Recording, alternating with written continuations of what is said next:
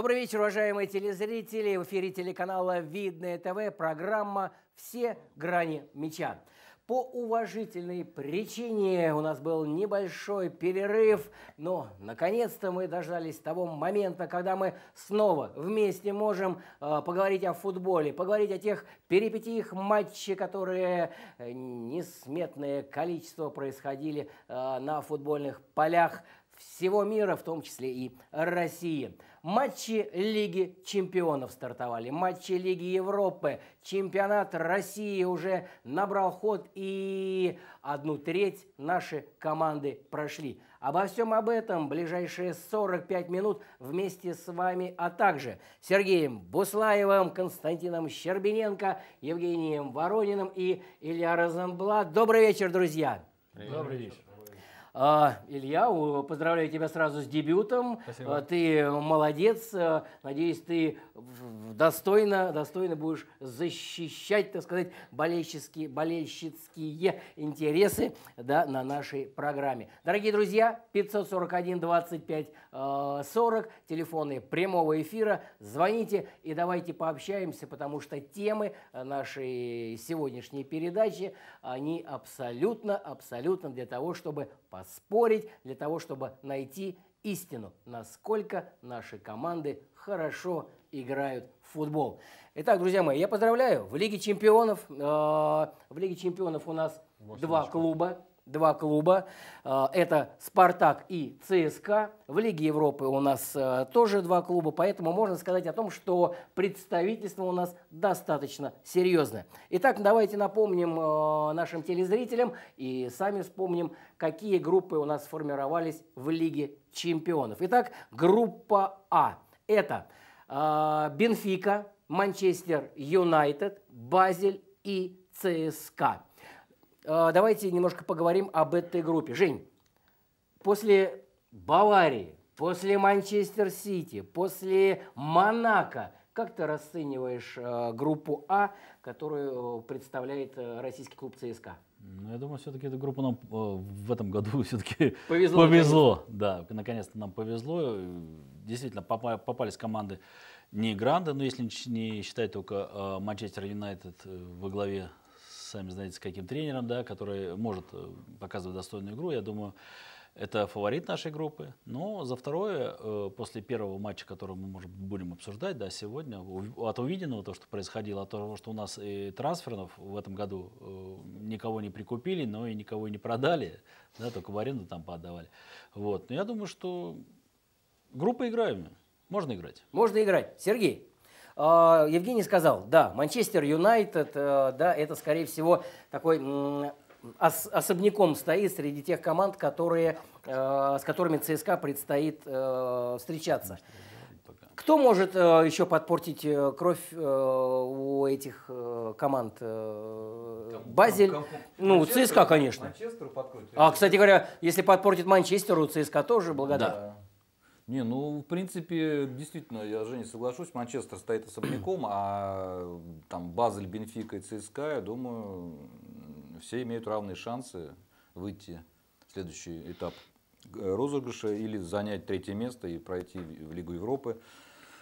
Поэтому я не, не вижу там фаворита такого, знаешь, вот, чтобы кто-то угу. Явного. опережал бы, да, и ЦСКА бы на голову там, э, вот матч мы будем обсуждать, если с Бенфикой, угу. да, он Конечно. показал, что я только ожидал тоже от Бенфики большего, но вот как-то матч сложился так очень хорошо для ЦСКА, и ЦСКА действительно молодцы, победили. Взяли три очка, которые в дальнейшем, я думаю, пригодятся. Пригодятся, ой-ой-ой, как пригодятся. А, Илья, к тебе вопрос. Скажи, пожалуйста, после того, как э, ЦСКА несколько сезонов подряд э, говорили о том, что Лига Европы, ну, после группового турнира, да, попадание в Лигу Европы это будет космосом для ЦСКА. Сейчас в данной группе можно говорить о том, что попадание ЦСКА в Лигу Европы это будет результат положительный. Мне вообще немножко непонятно, почему считается положительным исходом для ЦСКА попадание в Лигу Европы, потому что ЦСКА фактически турнир выиграл, пусть он Кубок УЕФА назывался, поэтому ЦСКА все-таки интерес представляет Лига Чемпионов. Но теперь у ЦСКА все хорошо, как вот Гончаренко сказал вчера, что для нас главный матч это с Базелем, ЦСКА хорошая фора, чтобы пройти, я думаю, ЦСКА может получиться. Э, Константин, э, с Базелем сказал, да, Илья, э, будут спаренные встречи. Часто мы обсуждали о том, что спаренные встречи, да, это которые третья и четвертая, да, они во многом являются Решающими. определяющими, да, решающими. На твой взгляд, в этом сезоне для ЦСКА такой же будет э, определяющим эти матчи? На Такими мой же? взгляд, для ЦСКА каждый матч решающий, Мгм. определяющий. Что касаемо именно вот третьего, четвертого тура в Лиге Чемпионов, на мой взгляд, это хороший показатель, хороший жребий, опять же, да, для Мгм. ЦСКА. По- Почему? Потому что это не Манчестер Юнайтед и даже не Бенфика, а спаренный именно с Базелем. Я думаю, что шансы есть у ЦСКА даже более чем. Возможно, даже и набрать максимальное количество очков. Потому что Меня всегда твой максимализм и оптимизм всегда Ну удивляют. да, я, если честно, я очень рад, Олег, если мы будем дальше затрагивать. Я, если честно, не вспомню, чтобы четыре клуба, представляющие Россию в Лиге Европы и чемпионов, ни одной из команд не проиграла. И более того, 8 очков набрали. Мне кажется, это, если не стартовый рекорд, то один из таких показателей серьезных. А, Если мы говорим про ЦСКА, у ЦСКА есть все шансы, конечно же, но не стоит вот здесь вот именно оптимистично относиться. Мне кажется, здесь волей судьбы, конечно, ЦСКА выиграли, может быть, где-то даже с И долей это об везения. этом мы сейчас поговорим, да. Да, Именно вот. по группе. А именно по группе у ЦСКА есть все шансы, будем смотреть. Опять же, я больше всего волнуюсь именно за вот эту вот паузу, все-таки она у нас есть, это пауза после новогодняя, скажем так, потому что Ну, вот после сейчас- новогоднего уже определится, кто будет Ну, играть в Лиге ну, Чемпионов, а да, кто да. поедет На мой на взгляд, отдыхать. э, да, если ЦСКА и так и дальше будет идти, как вот в чемпионате России, в Лиге Чемпионов последний первый матч, я думаю, все шансы есть выйти в плей-офф. Отлично. Давайте посмотрим. Давайте посмотрим группу Е, в которую попал э, чемпион России московский Спартак. Итак, Спартак, Севилья, Ливерпуль, Марибор. Я хочу э, узнать э, у вас, друзья мои, насколько Спартаку повезло со жребием, учитывая, опять-таки, делая мостик, какие соперники попадались ЦСКА, когда ЦСКА был в первой корзине. Итак, э, Сергей, Севилья, Ливерпуль, Марибор. Олег, ну надо отталкиваться от того, в в каком состоянии сегодняшний Спартак. Допустим, если бы э, смотреть Спартак, который занял э, первое место в прошлом году, ну не в Ага. прошлом году, в прошлом Ну, сезоне, понятно, да. То это один Спартак, а ко- который мы сейчас видим, да, вот сейчас и много в прессе уделяется внимания Спартаку, то в нынешнем состоянии Спартак, ну, я думаю, потолок его побороться за третье место вот в этой группе. Не более, не более, Олег. При всем С моем Марибором. уважении. Понятно. Ну, хотя бы да. с Да, э, Жень, скажи, пожалуйста, э, Ливерп- э, Ливерпуль, наверное, отдельный все-таки. Ну да, да, стра- да, да. Скорее всего, как у Как Манчестера. и Манчестер, да. да. Да. Севилья. Ну, Севилья тоже не подарок, я хочу сказать. Ну, понятно, не Поэтому подарок. я думаю, что у Спартака вроде бы группа, ну, не самая, скажем так, тоже сильная дос- досталась, потому что не, не группа смерти, да? Не смерти можно- точно. Не смерти точно. Поэтому, может быть, чуть полегче, как мне кажется, ЦСКА, э, группа Спартака полегче, чем ЦСКА. Ну, не знаю, потому что, грубо говоря, ну, два, они должны побеждать, э, Марибор, да? Мгм. Они должны обыгрывать, дважды были его, по идее. Шесть очков они получают. То есть в копилку 6 очков уже изначально Должны должны были, были, бы да, да, прийти. да. Уже соответственно, нет этой победы. Ну, Да. естественно. Поэтому да. я думаю, что лидер Ливерпуль, так же, как у нас Манчестер. Но здесь э, факт э, еще один немаловажный, как будут играть лидеры группы. Чтобы попасть, ну, допустим, на второе место, на вторую строчку э, в группе, нам нужно, чтобы Манчестер Юнайтед как можно, Э, скажем так, чаще выигрывал. всех остальных. Так точно. И Сейчас тогда у нас есть обсуждаем шансы- другую группу. Хорошо. Ну, нет, А, в, этой хорошо. группе, в этой группе, да, где Ливерпуль, Севилья, Спартак, Марибор, тоже команды Ливерпуль, Севилья сыграли в ничью. В ничью. Что на руку Спартаку в каком-то Да, и Спартак. плане. И Марибору. Да, и Марибор в том числе. Вот, если так плавненько подвести тоже Спартак, на самом деле Женя согласен, должны были, обязаны были побеждать этот Марибор, столько моментов было э, множество, особенно вот этот момент. Сейчас мы об этом тоже поговорим. Остался в голове Адриана на Ферн- Фернандо, да? Да. Прекрасный момент. Отлично. Давайте, давайте перейдем а, уже непосредственно а, к матчам. И еще раз хочу обратиться к нашим телезрителям, болельщикам. Мы переходим к обсуждению матча Лиги Чемпионов. ЦСКА, Спартак. Как они сыграли? Как показали э, всю красоту российского футбола? Итак, Бенфика, ЦСКА 1-2, Марибор, Спартак 1-1. А, Жень, ну давай начнем э, с ЦСКА. Я понимаю, победа, я понимаю, твой любимый клуб, и для, для копилки сборной команды России, также э, э, сборной команды России, говорю, для, ну, для России, да, для страны в копилочку копилку э, коэффициентов. Но прежде чем мы это сделаем, давайте пообщаемся с нашим телезрителем и узнаем его мнение о выступлении наших команд. Добрый вечер, Сергеевич. Юрий Сергеевич. Юрий Сергеевич, но пасаран. Они не Я всех вас приветствую. Я думал, что ты совсем свернул свою программу грешным делом. Я, конечно, не знал, почему. Но Он нет, соб- и нет, нет. Он и собирался это сделать, мы нет. Сведений тоже настояли. никаких нет. Поэтому я думал, что все закончено. Ничего не закончилось, все только начинается. Ну что ж, мне, э, если говорить про первую группу, где ЦСКА, мне нравится ЦСКА сегодняшний. Мгм. Своим настроем на победу. Я понимаю, что не все там гладко и не все всегда получается. И даже с Бенфика я считаю, что второй гол это, в общем-то, больше случайность, чем закономерность, потому что Бенфика в основном доминировала. Они, видимо, не ожидали, что так получится. Да, собственно, никто не ожидал. Я думал, ну ладно, ничья как-нибудь, мы, может быть. Но, тем не менее, получилось хорошо. Я считаю, что армейцев может, по крайней мере, если не с первого, то с второго места мы можем выйти, реально. Я ведь помню девятый год, когда заступил Слуцкий, мы играли тоже та- так же с Ма- с Манчестер Юнайтед и сыграли ми 3 причем, 3-3, причем все время вели в счете. Да. Это да. они сравняли 3-3-то. Да, если бы не рикошет. Да. Помнишь, Жень, конечно? Да, да, да. Если Ну, мы рикошет все помним этот да. матч. Это был первый матч э, в Лиге чемпионов э, Слуцкого, э, да, и 3-3. Слуцкого, Да. И, в общем-то, мы тоже считали, что он сложился удачей. Поэтому, если мы там сыграем, пусть не 3-3, но хотя бы в ничью, это для нас будет очень большое положительное, так сказать, сальдо. Но мы с Манчестером играем в последнем туре. Это, это дома. Нет, Нет, э, там. там, на вы, последняя, пятая В игра Манчестере будет. играем в следующую среду. Да, это Ну, правда. И с с Манчестером играем в следующую, да, совершенно. верно. Дома. Дома. Я думаю, у армейцев все есть. По крайней мере, пусть не выиграют, но на ничего они могут вполне сыграть. Во всяком случае, я верю в них. Спасибо, спасибо, Юрий Теперь, Сергеевич. Что касается Спартака, А, да. Про- Я, согра- я согласен с Сережей. Сейчас не тот Спартак, который выиграл э, чемпионство в нашей стране. Не тот. Совсем даже не тот. Увы. Я не думаю, чтобы он вышел во- вообще. Ну хорошо, если он с третьего места выйдет в Лигу Европы. Спасибо, спасибо. Будем ждать, будем ждать, естественно, следующих матчей, потому что они тоже будут во многом определяющие, э, как дальше пойдет э, развитие событий. Итак, Жень, Да. э, ЦСКА, Бенфика, я скажу честно. Э, Ты звал вот меня, Юрий посмотри, Сергеевич- да, ты звал меня смотреть Это вместе. понятно. Хорошо, не Сергеевич говорит о том, что э, Бенфика э, д- владела инициативой. Да, она владела инициативой. Бенфика владела мячом, но опасных моментов команда Бенфика для ЦСКА не доставляла каких-то неприятностей. Да, Или я не согласен. прав? Нет, нет, согласен с тобой. Да, нагнетали обстановку, да.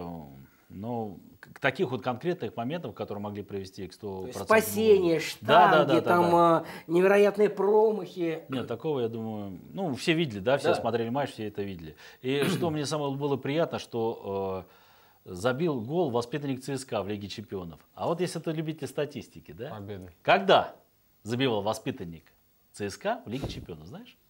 Я даже не буду э, говорить, 92 год. Поэтому прошло очень большое время, когда... Корсаков.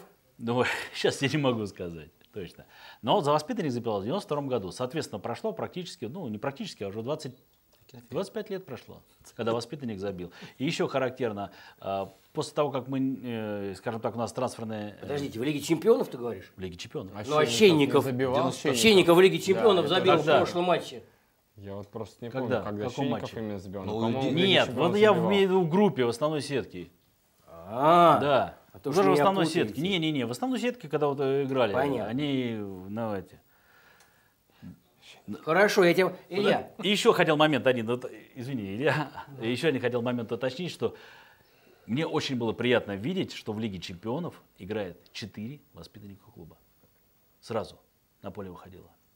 А если там будем еще с чемпионатом России, там уже 6 А если выходили. еще вспомнить, что и Головин, которого не причислили к воспитанникам, но он, в принципе, э, пускай и в, в более старшем возрасте, но все-таки, да, из Мне нравится, что все-таки вот э, молодежь, да, вот школа, которая вот армейская работает, да, все-таки и люди играют в Лиге чемпионов. Это Хорошо. Илья, скажи, пожалуйста, э, перед началом, э, или даже, э, ну, можно так сказать, перед началом второго тайма у тебя бы- были мысли о том, что ЦСКА может этот матч э, выиграть? Потому что по первому тайму я сказал себе, ну все, начинается. Ну, если по-честному, каких-то предпосылок к положительному исходу для армейцев э, после первого тайма не было. Но три очка на выезде в Лиге Чемпионов не пахнут. Это правда. И как это, забили, это правда. важно, Сергей, да? да. Добавлю, да, вы обсудили уже эту игру. Но еще стоит добавить, что э, везение было, естественно, на стороне ЦСКА. И плюс еще мы с тобой об этом говорили, что э, впервые, наверное, в истории, да, так судил судья. То есть очень лояльно к нашей команде Очень относился. лояльно. Да. Испанец, да? Да, да, да, да, испанец судил, да. Я думал немец, это испанец был, да. И он, э, там был эпизод с Васиным, да, когда он хватал за майку, в принципе, э, Это пенальти. был чистый пенальти, да. Рука Он у так- Верблома. Пенальти. Да, да, да. Ну, то есть э, сложилось все хорошо для ЦСКА. Был день ЦСКА, наверное, я думаю, так, в, этой, в этом матче. Поэтому победа. Ну и тренер, наверное, стоит отметить. Нет, Вовремя замену вот он сделал, да. как раз Жамалединов вышел вместо Аланара, хоть и тот э, первый, второй получил травму, да, хотя эта замена, если честно, напрашивалась. На Ну, хотя, взгляд, хотя тренер-то похвалил его, Аланара. Конечно, после конечно. игры. Не, на Ну, самом деле, Он нет, на самом деле, выполнил. если, если бы, допустим, вышел э, Чалов, да, на, в, в Да, нападение, да, забил бы. я думаю, что было совсем по-другому бы.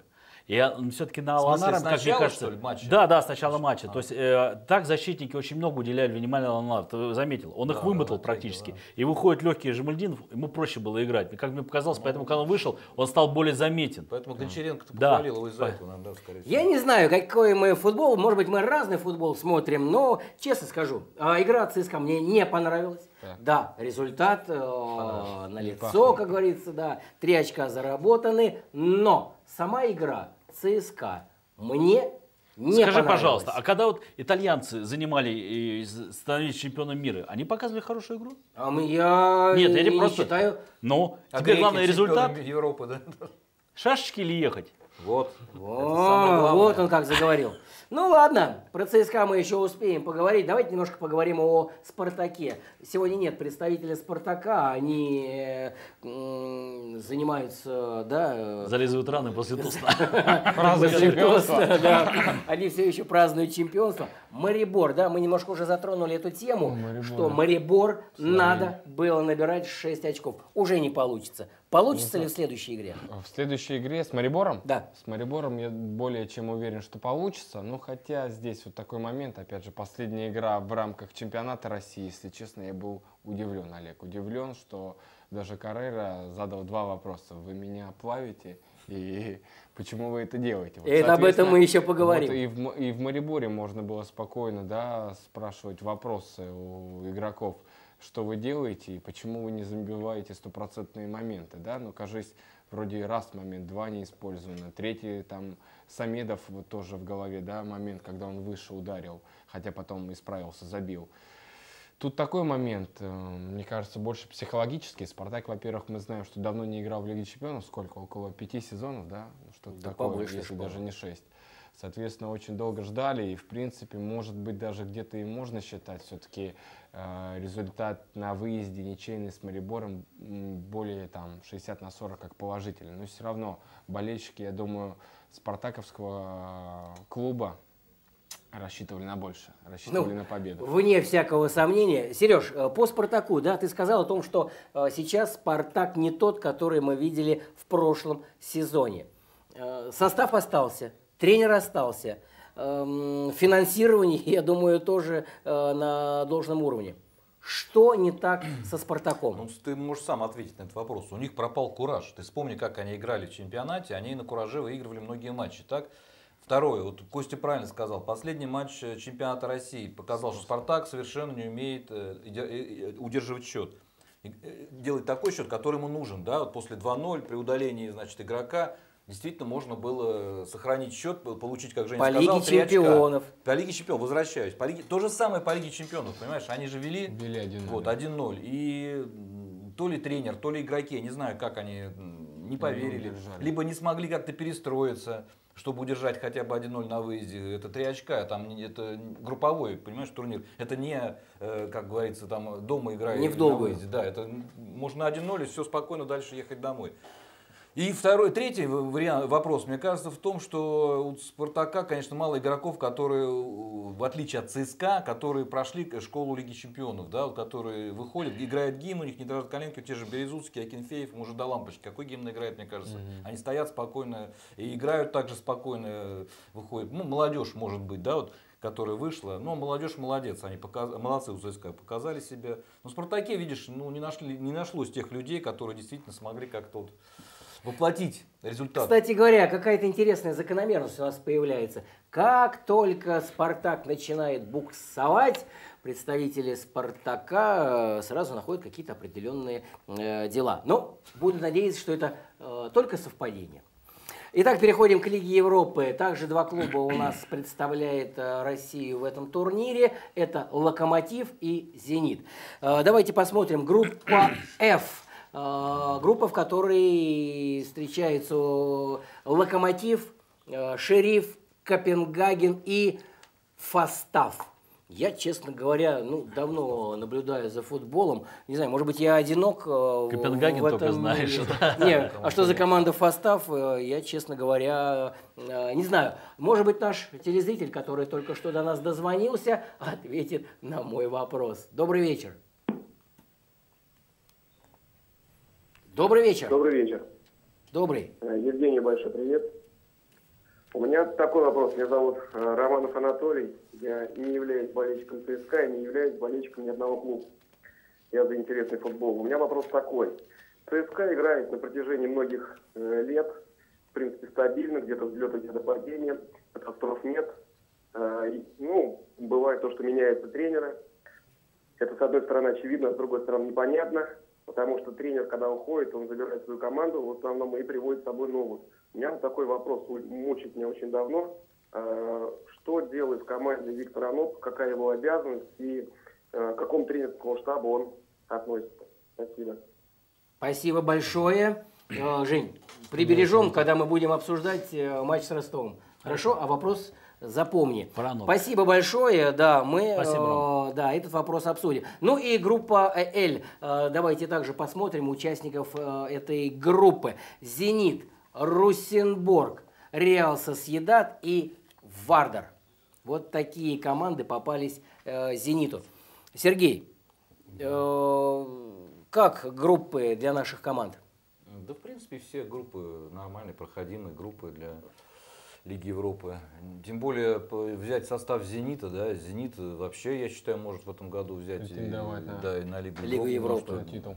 На титул, да, совершенно. Хотя там есть э, в других группах там команды э, Серьезные. серьезные из этих из элитных э, дивизионов.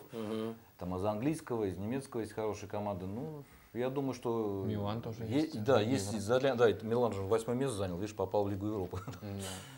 Понятно. Просто итальянская команда много прошло. Так что, не, шансы есть у всех. И у Локомотива, и у Зенита, Локомотиву пройти дальше. Ну, взять, конечно, кубок, я не знаю, тяжело будет Локомотиву. В плей-офф. Да. Но Давайте, давайте, можно больше давайте очков поговорим о. Локомотиве, э, ну и посмотрим результаты матчей, которые после первого тура мы увидели на табло стадионов. Итак, Копенгаген, Локомотив 0-0 и Вардер, Зенит 0-5.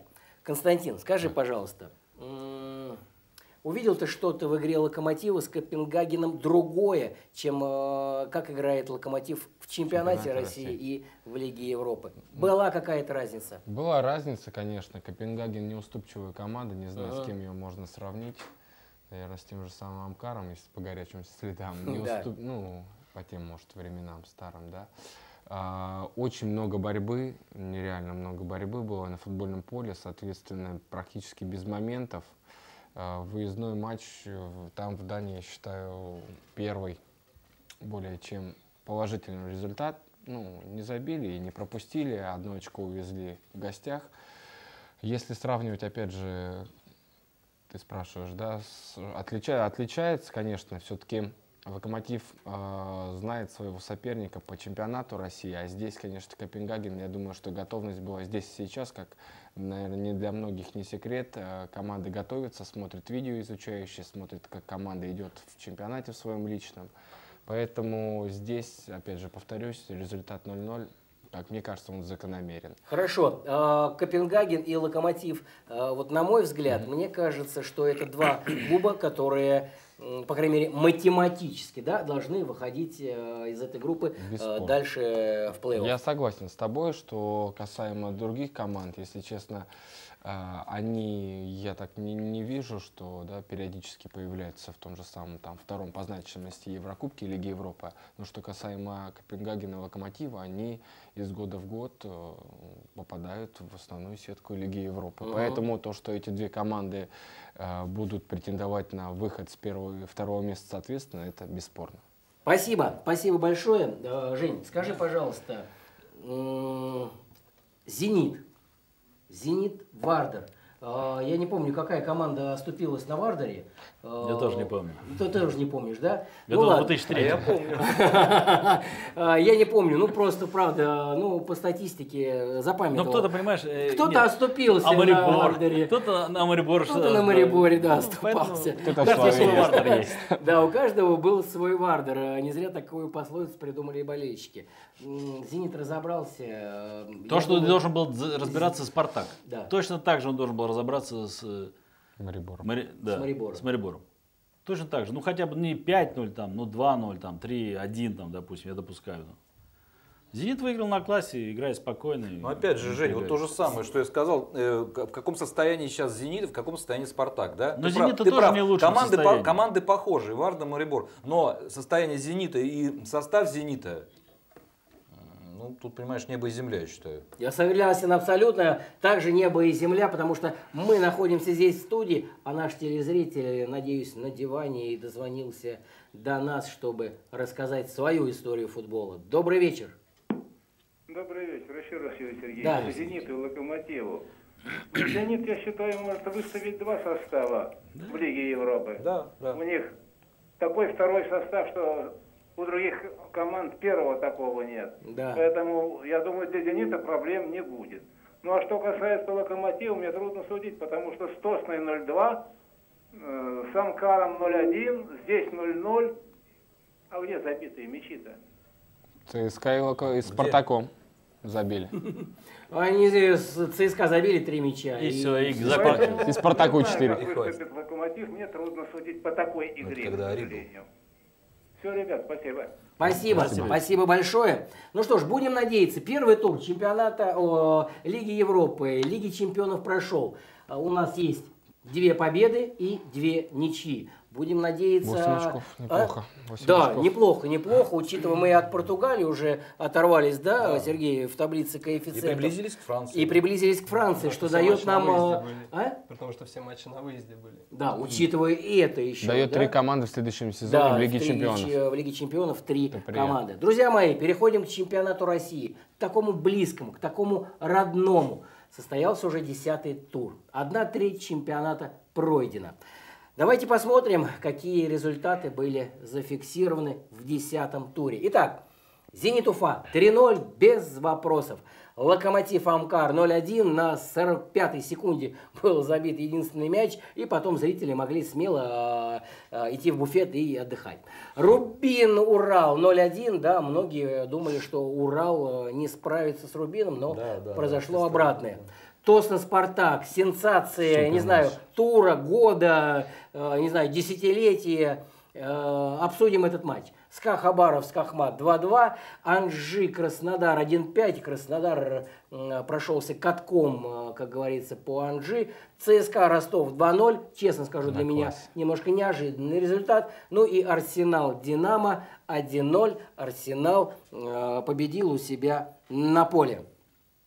С какой игры начнем обсуждение? Предлагаю ЦСКА Ростов. ЦСКА Ростов?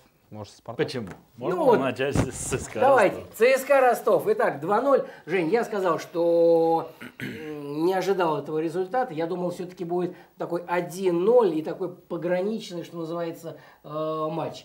А в итоге получилось то, что ну, ЦСКА достаточно на мой взгляд, спокойно разобрался. Олег, может быть, Виктор Анопко как-то подсказал, как действовать Да, как раз И расскажи про Анопка. Да, про Анопку тогда Да. скажу, да.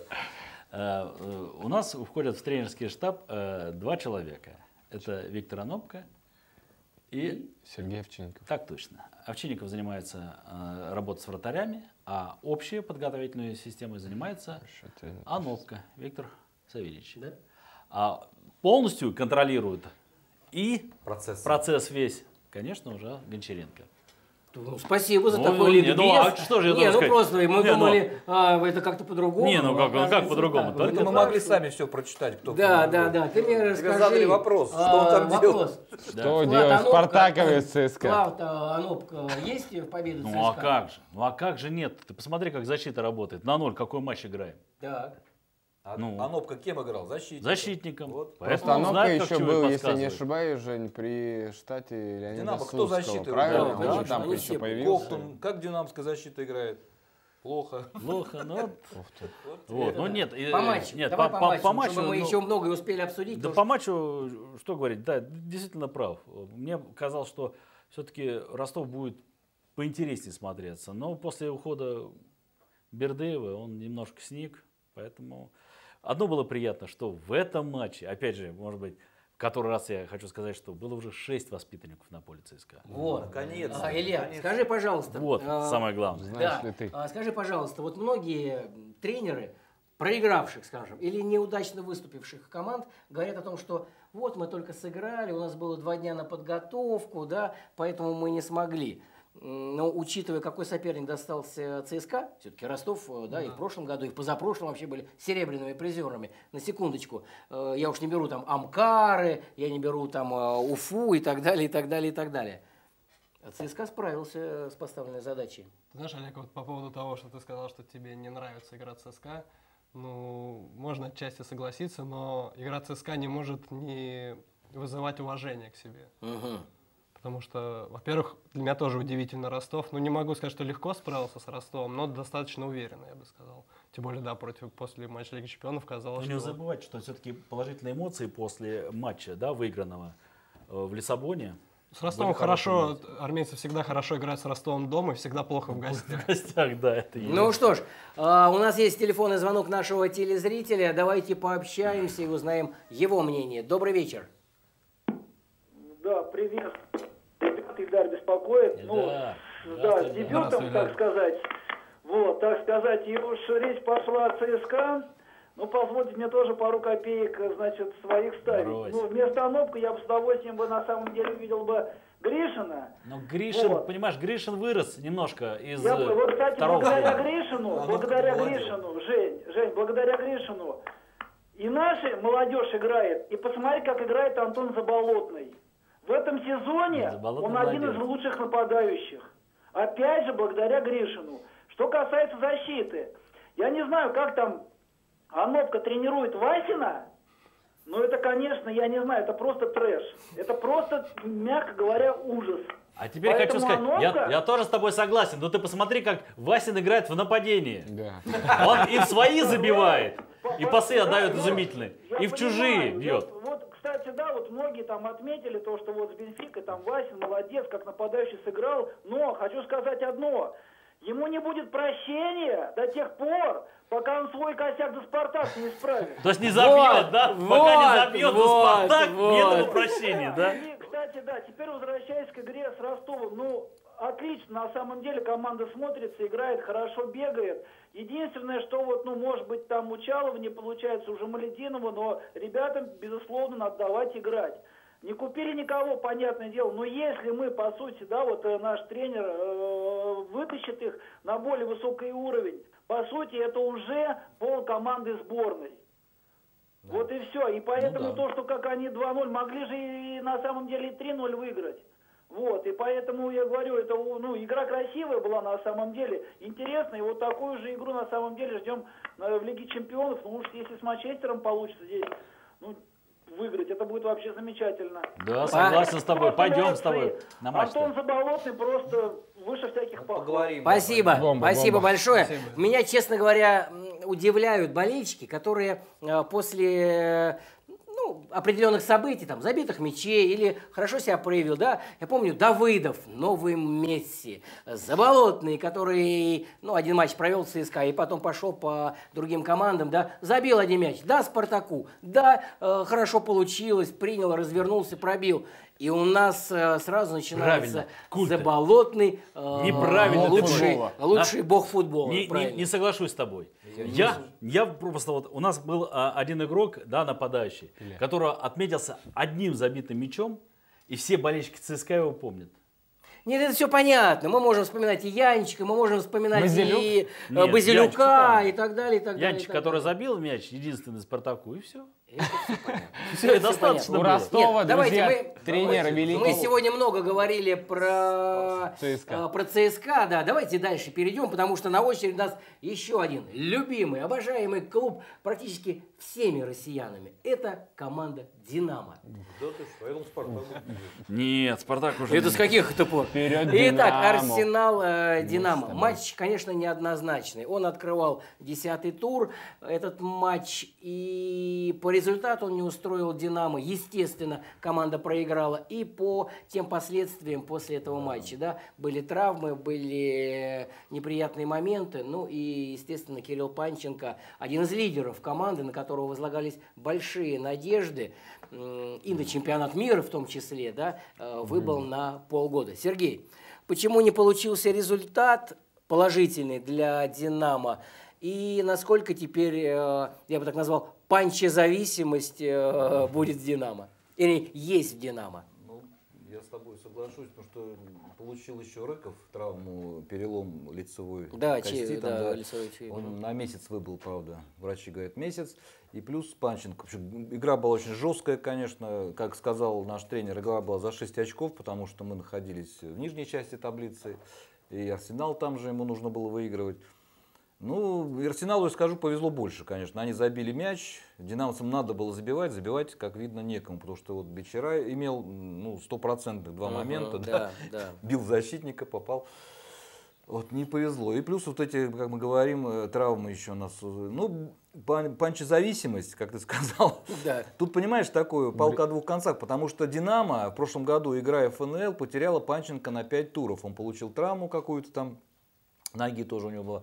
И Пять туров «Динамо» победили они в этих играх. Этих, потому ага. что, да, почему? Опять же, вот сейчас Панченко может заменить Вандерсон, Зотов, например, на его позиции, Погребняк. которые не будут искать его, понимаешь? Они на поле, как вот я в прошлом году рассказывал, команда ищет Панченко. То есть действительно была панчезависимость какая-то. Да, он бомбардир, он забил там сколько, 23 или 25 мячей в прошлом году в первой лиге, но здесь 4 мяча забил. Хотя тоже неплохо, да, хотя он не играет же Неплохо, острие, на неплохо, острие, да. да. это непл- неплохой результат для, для э, игрока. Э, Ну, здесь вот обидно то, что, конечно, парень не попадет, э, может быть, ну, скорее всего, наверное, не попадет мира в чемпионат мира. Не, ну потому что- почему? Полгода заканчивается у нас, получается, три в Ну, марте. К весне, Ну, вот да. сейчас, В марте, да, как раз к старту сезона Ну, да, он надо восстановиться, понятно. будет, э, надеюсь... Но тут будут, будут сейчас игры идти, э, товарищеские, там, в этом году две игры, да, будет у сборной, если не То есть он, может быть, в состав просто не попадет. Да, ну, и он, если Нет, по наиграет, схеме, наиграет, схеме, да, по да. схеме наиграет тренер состав, то уже он не будет вписываться, я думаю. Там Ну таких игроков, может быть, и навалом будет. Подобная травма вроде у Спартака, у Забнина, да? То, Да, да, да. Да. Но в этом году и Тигиев получил, вот в этом туре, вернее, Тигиев Да. получил Спартака такую же травму. Да. Уж Какой тур был вообще травма опасный, можно сказать. Вот, и, ну... По что- игре «Динамо». По игре «Динамо», Олег, ну, как таковой игры какой-то нет, понимаешь? Я вот, мы об- общались с болельщиками, понимаешь, тут они тоже вот последнюю игру говорят, вот Шунин там э, допустил ошибку, хотя я не считаю, что он допустил, там мяч такой был забит э, достаточно сложный, по траектории летел, для вратаря тяжелый С мяч. углового, да? Да, со штрафного, да, он был. Вот, и, э, понимаешь, там я написал, что надо забивать. Три игры последние в чемпионате Динамо не забивали. Плюс взять игру Да. сбор, со сборной они сыграли, они опять не забивали. То есть надо что-то делать в атаке команде. А что делать, вот не знаю, потому что, как Женя говорит, э, ЦСКА не купили, Динамо тоже особо не, раскошелились. Тут свои проблемы с ВТБ, потому что у них сверстан бюджет до конца года, теперь, значит, зимой они могут дать деньги. Ну, скорее всего, зимой э, в связи с травмами Динамо подкупит кое-кого, может быть. И мы постараемся выправить положение, которое сейчас попал в «Динамо». Ну, будем надеяться, будем надеяться, потому что, ну, действительно, А, хочется, еще я хочется, да, да. вам начал говорить, и скорее всего вот сейчас дали тренеру э, Карт-бланш. карт-бланш, да, вот на два матча будет очень серьезный матч с ЦСКА и с Локомотивом, Да. значит, и в зависимости от этих матчей тренерский штаб может поменяться. И э, по... А есть смысл менять прогноз? тренерский Я- штаб я не э, знаю. с учетом э, игроков, которые сейчас есть? Да, да, вот я с тобой соглашусь. Но кто знает, Олег, бывает как бы встряска, бывает какая-то, не, не устраивает руководство схема, по какой играет Динамо. Потому что тренер своеобразный, он меняет, э, если посмотреть на составы Динамо с начала чемпионата, вот 10 туров прошло, э, команда ни, ни разу не сыграла одним и тем же составом. Ни разу практически. Бывает Кобелев, да, может Да, он меняет постоянно, смотрит. У него принцип такой, как вот игроки говорят, у него принцип такой, кто на тренировках себя лучше проявил, тот и играет, понимаешь? Не знаю. Ну, такой- Посмотрим. такой ну, естественно, всем болельщикам «Динамо», как всегда, терпение. Я уверен, что не пройдет и полгода, как пел э, Владимир э, Семенович Высоцкий, не пройдет и полгода, и мы увидим совершенно другое «Динамо». Друзья мои, Тосно Спартак. Переходим к этому матчу. Ну, я думаю, что все болельщики знают, что Спартак э, сыграл с Тосно 2-2.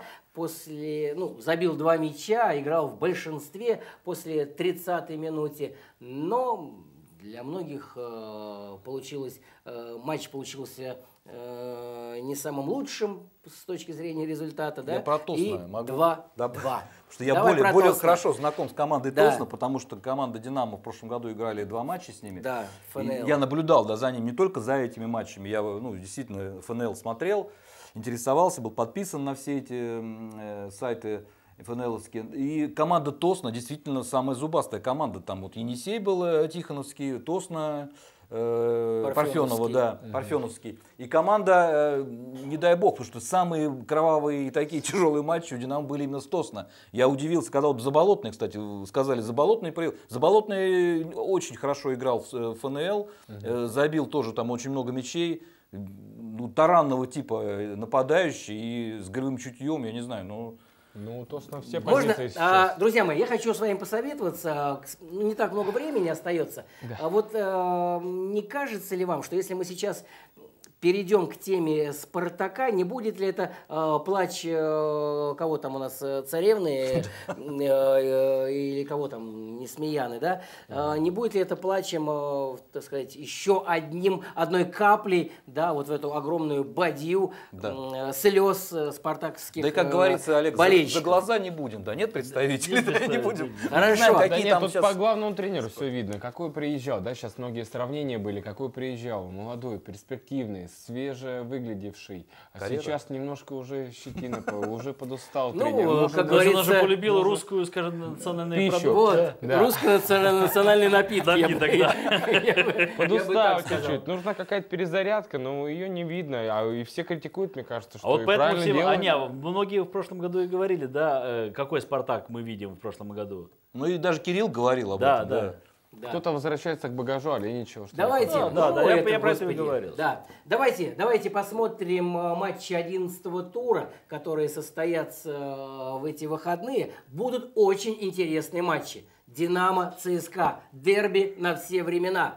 Э, Спартак, Анжи. Я думаю, что тут Спартак должен, э, что называется, на Анжи выместить э, тоже да, будет всю, матч. всю злость. Краснодар Уфа. Арсенал будет решать местные задачи, как и Урал Тосно. Ростов Локомотив, Ростов дома. Абсолютно неуступчивая Краснодар, команда. Зенит. Краснодар Зенит, вне всяких сомнений, это матч тура. Встречаются первая и вторая команды. Амкар с Хабаровск. Хабаровск э, молодцы. э, и Амкар э, молодцы, да. Ну, по крайней мере, в десятом туре. И Ахмат Рубин э, м, тоже, э, да, будет матч достаточно интересный.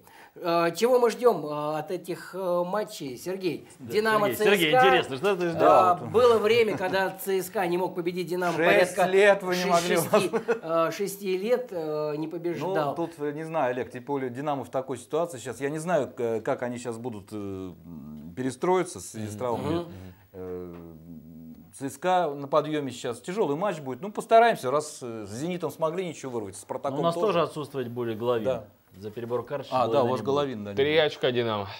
Давай, Надо Лока. пора. Ой-ой-ой-ой-ой. Илья, Ну, верим в ЦСКА, но матч будет тяжелый и непредсказуемый. Жень. Тяжело будет, но выиграем 2-0. Лока, ре- реабилитируйте, я скажи. с- соглашусь полностью. После Да, поражения. Локомотив Ростов. После позорного. Ростов. В Ростове не забываем. Лучший тренер Кучук. Мне кажется, здесь будет победа Локомотива на выезде. А как же- а как же 2-1. Кучук? Нормально. Ну и Краснодар-Зенит. Лидер. Ну, кстати говоря, а, пока мы обсуждаем эту тему, можно включить сейчас, да, а, турнирную таблицу после 10 тура, чтобы мы понимали. А, Зенит и Краснодар, да, занимают первую, вторую строчку, три очка отрыва, и они встречаются в 11 можно туре сказать, между собой. тоже, да. Локомотив, э, ЦСКА ЦСКА, Ростов, да, Ростов, Локомотив встречаются, третья, пятая команда. Да, ЦСКА, да, идет там, ну и Спартак на восьмом. Играет с дном турнирной таблицы. Вот, ну и э, вот такой расклад у нас по турнирной таблице. Э, и середина, да, середина турнирной, э, турнирной таблицы там, абсолютно где э, ничего не ясно. Любой тур Ну, э, там, да, меняет там, положение э, команд. Друзья мои, всем нам огромное спасибо. Э, Поздравляю наших телезрителей с тем, что программа возвращается в эфир телеканала Видное ТВ. В следующий вторник мы будем обсуждать матчи 11 тура, переживать Кубка за свои России. команды, Кубка, Кубок России, России, да. естественно, да. Ну и до встречи. Болеем за своих. Пока. Всего доброго.